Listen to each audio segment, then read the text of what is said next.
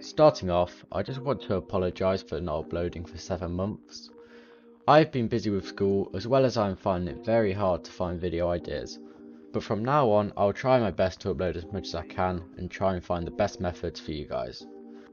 If you do have any suggestions for any videos, please do join my Discord server, the invite is in the description, and let me know your suggestions inside there.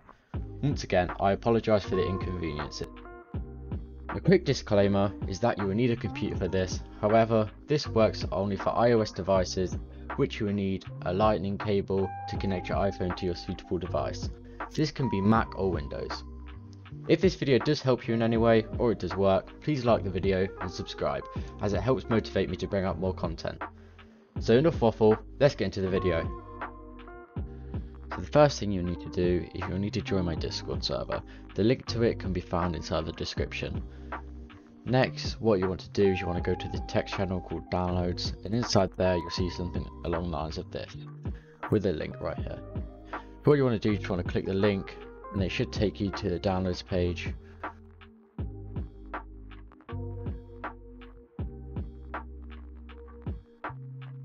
From here, just click wait 5 seconds and then click the free access with ads button. And then you want to complete the following steps. I'm just going to skip the video until I've completed all the steps, so I'll see you soon. Okay, so once you've done that, you'll be taken to this website where you just simply want to click this download button right here and click save the file.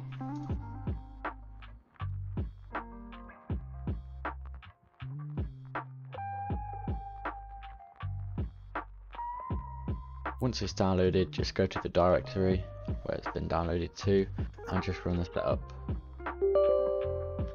If you get a screen that asks if you want this app to make changes to your device, just click yes. And then click install.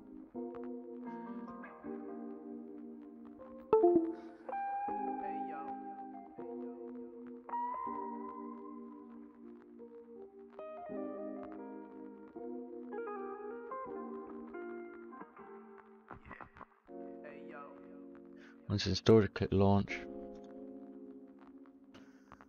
And from there, you'll be brought up to a screen like this. What you next want to do is you want to connect your iPhone to your computer. I'm just going to skip the video while I go get my lightning cable.